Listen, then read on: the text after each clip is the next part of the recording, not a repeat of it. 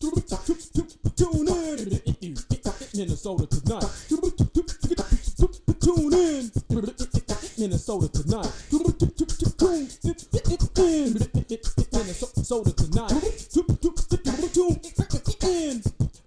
Minnesota tonight. Night, night.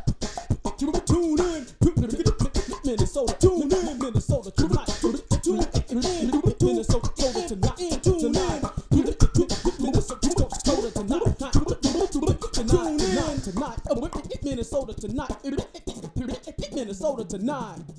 Yeah. Minnesota tonight. I'm Lizzie Gardner, And I'm Cody Nelson. and this is the state of Minnesota. A recent study shows that Minneapolis is the seventh sweatiest city in the country. the only city in the top 10 not in the deep south. Variables for the study included heat index, proximity to bodies of water, and where I live. Uh, the late singer Prince was awarded an honorary doctorate in humane letters from the University of Minnesota last week, and as is with all college degrees, was also given an honorary 12 pack of chicken ramen and an honorary part time position at a campus Starbucks. A new study shows that the phrase, is funner a word, is Googled more in Minnesota than it is in any other state. and that might seem embarrassing, sure, but it's loads better than the most popular Wisconsin search, is fun a thing? Another study recently revealed the most commonly misspelled words by state, with Minnesotans being most frequently tripped up by broccoli. And again, that might seem embarrassing, but to put it in perspective, Wisconsin just can't get GED. Uh, native Minnesotan Robert Reardon, who retired two years ago as the oldest flight attendant in the country at the age of 90, died this week. The thing that always impressed me was his courage, Reardon's youngest sister Bernadette said of him. And I think I speak for all of us when I say, What are you talking about, lady?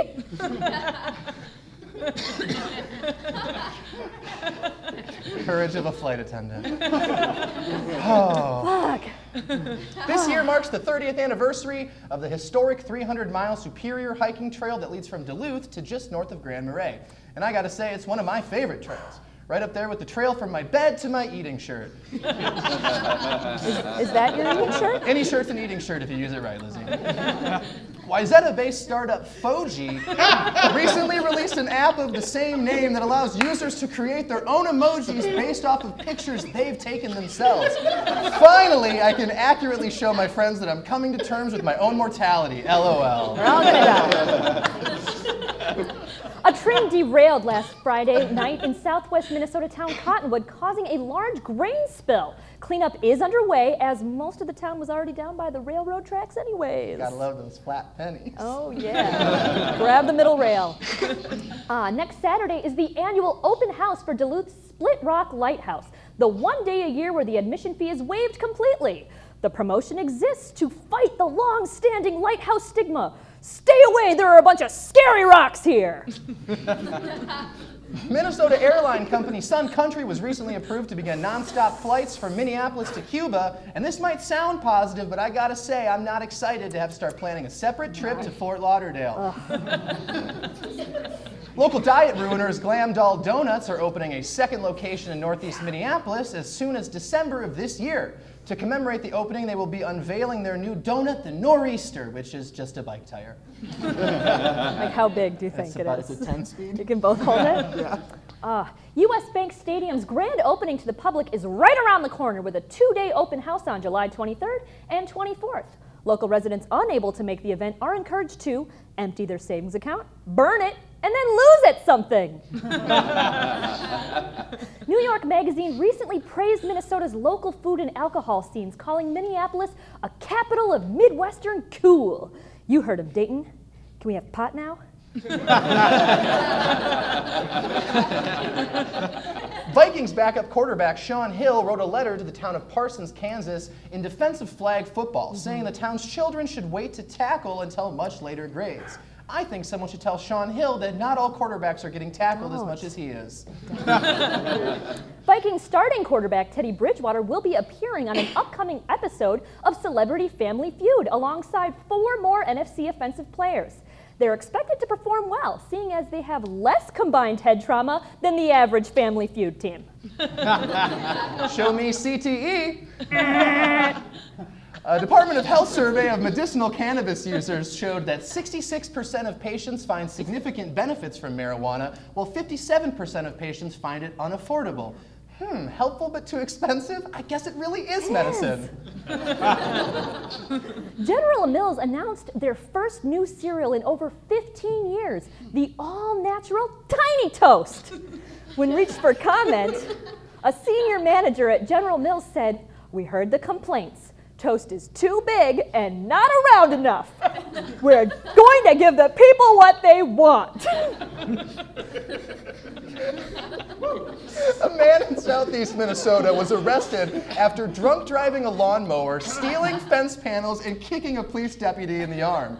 A breathalyzer showed that the man had a BAC of 0.19, so he was let off with a warning since, as we all know, the legal limit on a lawnmower is 0.23. the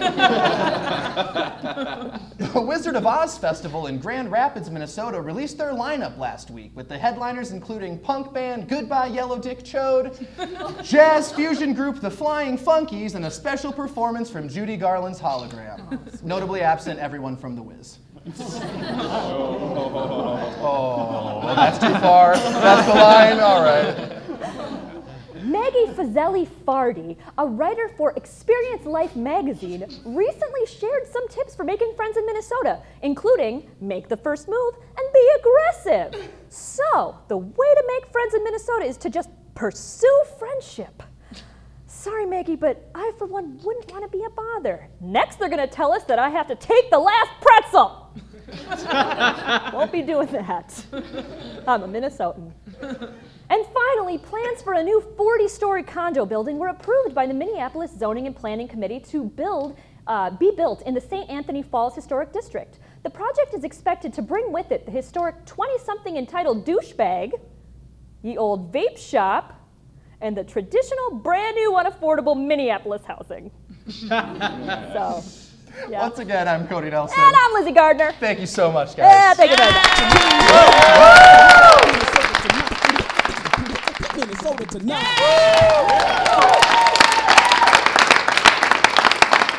Tonight, we'll take 10 to talk about the internet, home to the world's most interesting cat videos and second most interesting Amazon.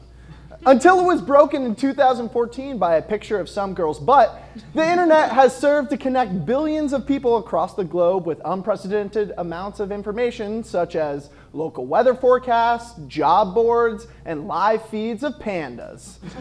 but unfortunately, not everyone is able to join in on the proverbial panda peeping parade. According to recent estimates, more than half the world's population lives without reliable access to the internet. That means when 3.5 billion people want to watch someone fall over, they have to go outside and get lucky. Or, God forbid, watch America's Funniest Home Videos. and worst of all, when these people think of vines, they're thinking of actual vines.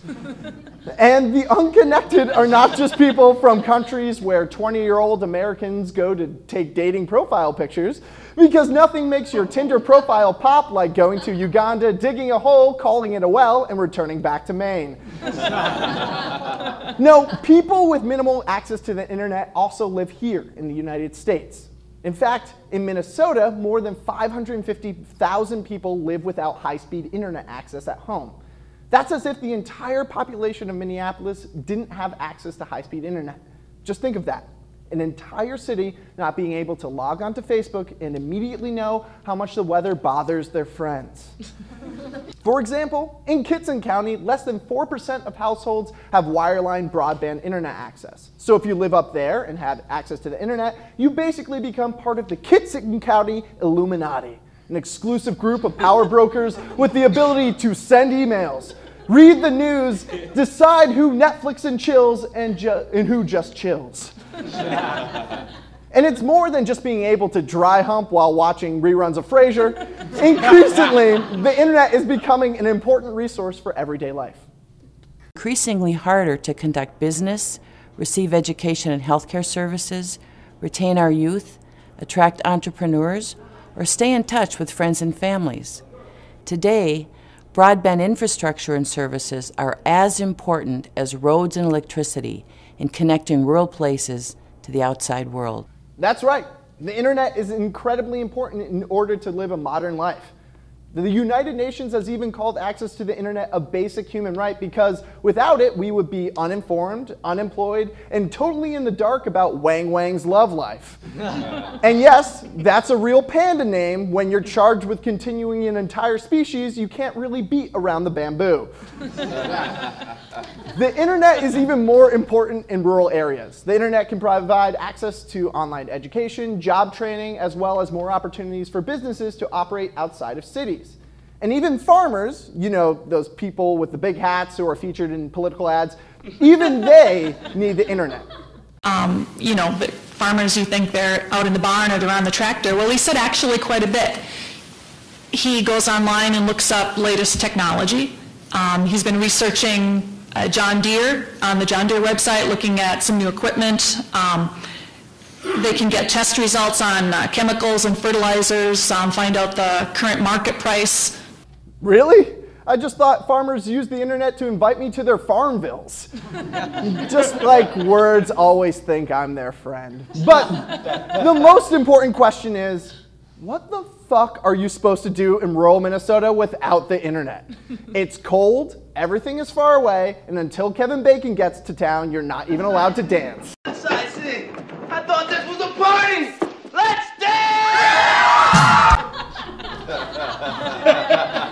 Now there, thank you. There's a reason for this. It is expensive to install the wires that connect households and businesses to the internet. In sparsely populated areas, it could cost thousands of dollars just to connect one building.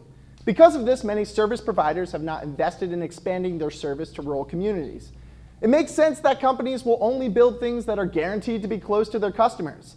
That's why every single Chico's is located within three blocks of a Michael's. and when rural communities do have access to internet, it can be wholly inadequate.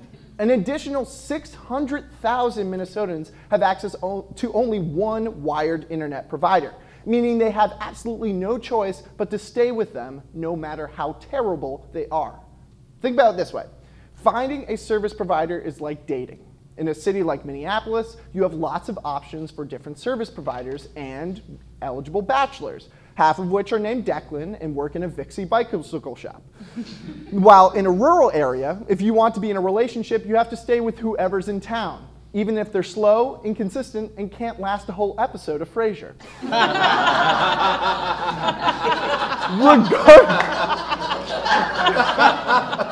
Regardless of the financial reasoning behind the patchy broadband infrastructure in greater Minnesota, the result is a lot of people left without even the most basic access to the internet, even when they are paying for it. This is maybe best described by the most Midwestern metaphor ever made.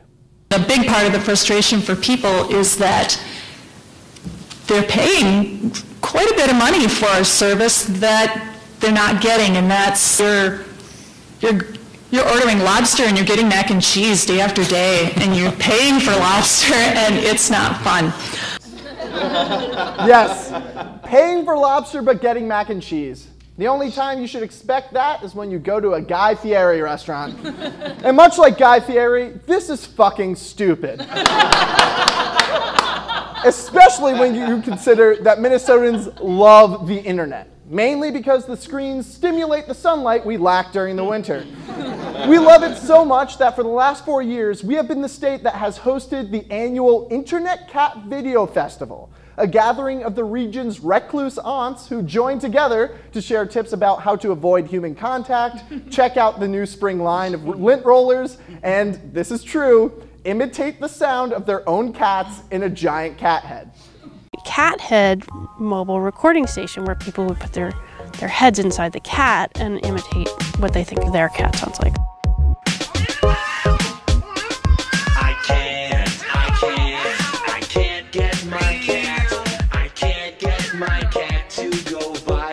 Thank you, Internet, for giving them a platform to share their meows for help with the world.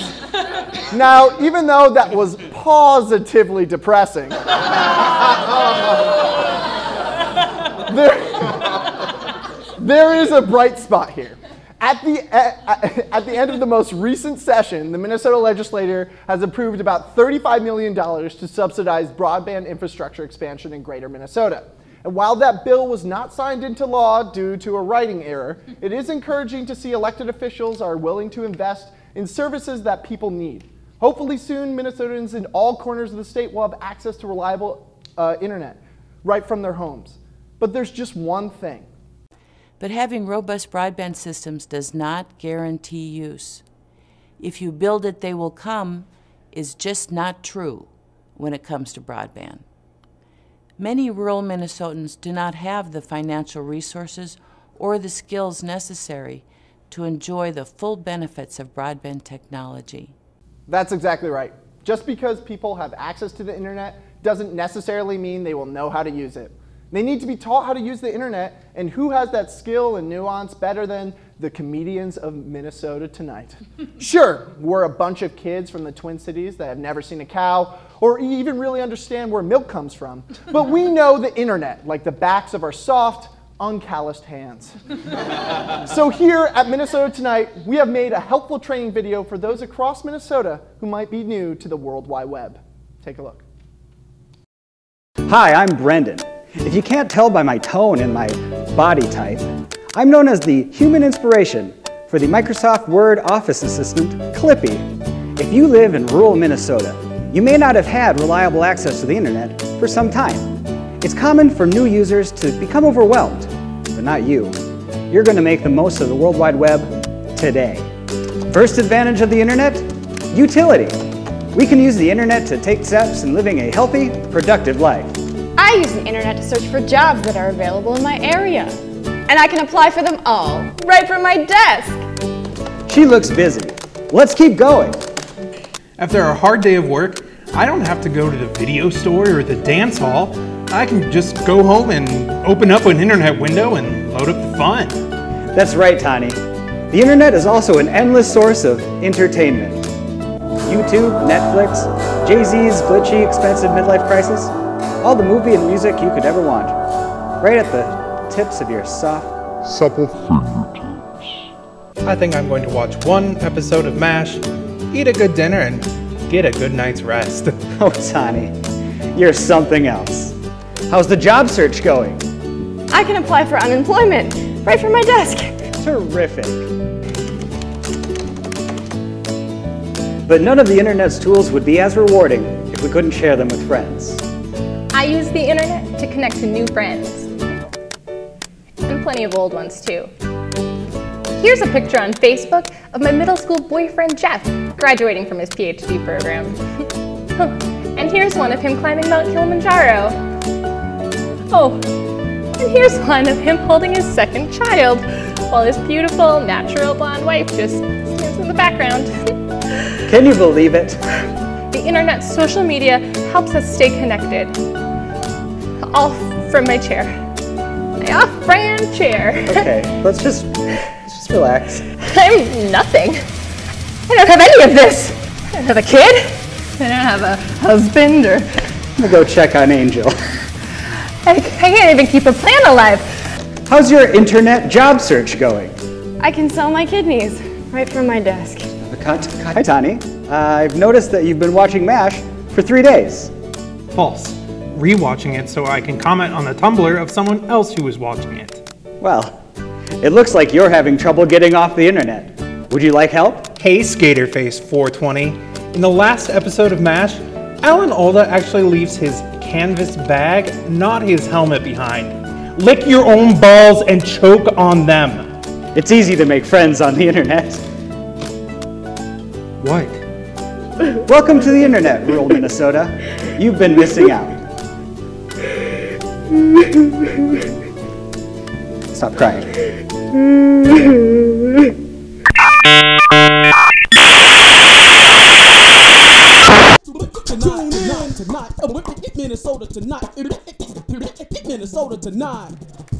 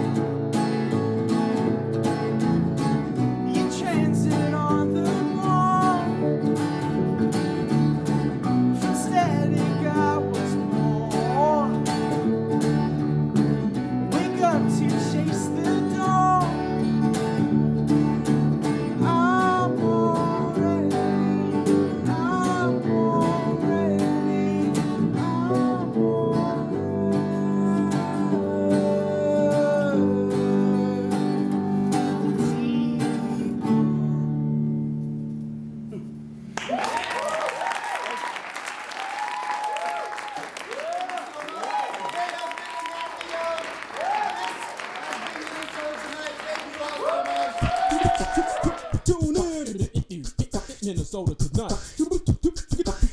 Tune in. Minnesota tonight. Tune in. Minnesota tonight. Tune in.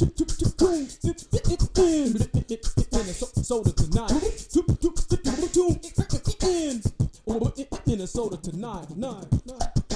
Tune in. Minnesota. Tune in. Minnesota tonight.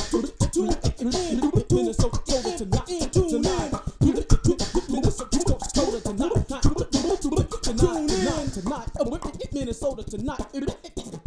Minnesota tonight.